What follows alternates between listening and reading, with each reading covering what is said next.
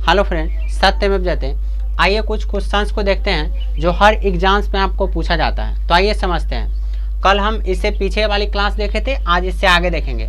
तो कहा जाता है, सबसे बड़ा प्रादीप अरब प्रायद्वीप है। सबसे बड़ा प्रादीप क्या है? अरब प्रायद्वीप है। उसके बाद, सबसे बड़ा द्वीप समूह तो इंडोनेशिया होता है। सबसे बड़ा द्वीप समूह क्या है? इंडोनेशिया का है। सबसे बड़ी नदी द्वीप। सबसे बड़ा नदी द्वीप कौन है? तो माजुली है। ब्रह्मपुत्र नदी जो असम है। सबसे सबसे बड़ा नदी द्वीप कौन सा है? तो माजुली है। ब्रह्मपुत्र नदी को असम में है। कहाँ पे है? असम में। अब कहता है सबसे बड़ा डेल्टा, सुंदरवन का डेल्टा होता है जो भारत में है। सबसे बड़ा डेल्टा कहाँ है? सुंदरवन का डेल्टा जो भारत में है। अब कहता है सबसे लंबी नदी, नील नदी जो कहाँ पे है? मिस्र में है। सबसे लंबी नदी का नाम क्या है? नील नदी है जो कहाँ पे है? मिस्र में है। अब कहता है सबसे बड़ी नदी चौड़ी एवं बहाव की दृष्टि से। बहाव की दृष्टि से क्या है? चौड़ी तो क्या है?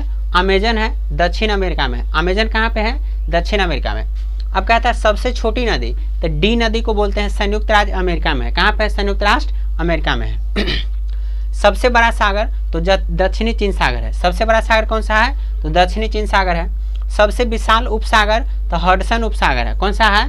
हडसन उपसागर। उसके बाद सबसे छोटी पक्षी क्या है? हमिंग बर्ड है। सबसे छोटी पक्षी क्या है? Hummingbird hello? सबसे छोटी पक्षी क्या है? हमिंग बर्ड है। अब कहता है, सबसे लंबी सहायक नदी मेडिरा है, जो अमेजन की सहायक नदी है। किसका है? अमेजन की सहायक नदी है। सबसे व्यस्त व्यापारिक नदी कौन सा है? तो राइन नदी है, जो कहाँ पे है? जर्मनी में कहाँ पे है? जर्मनी में। अब है अंत सागरीय नदी। कहाँ है? तो क्रोमवेल धारा है। कहाँ पे है ये? क्रोमबेल धारा है।